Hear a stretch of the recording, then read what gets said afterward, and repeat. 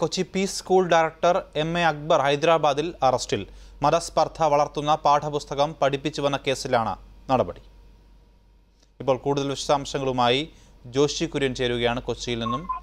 ജോഷി. അനൂപ് ഈ piece international സ്കൂളുകളിലെ ഈ പാഠ്യഭാഗം നിശ്ചയിക്കുന്ന ആളെന്ന നിലയിലാണ് അക്ബർ അറിയപ്പെടുന്നത്.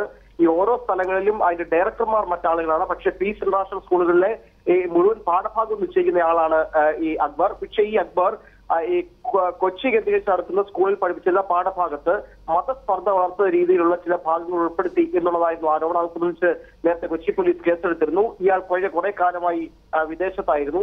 ഇന്ന് പുലർച്ചയോടുകൂടി ഹൈദരാബാദിൽ എത്തിയപ്പോഴാണ് ഇമിഗ്രേഷൻ ഉദ്യോഗസ്ഥർ തടഞ്ഞു വെക്കുകയും തുടർന്ന് കൊച്ചി പോലീസ് വിവരം അറിയിക്കുകയും ചെയ്തിരുന്നത്.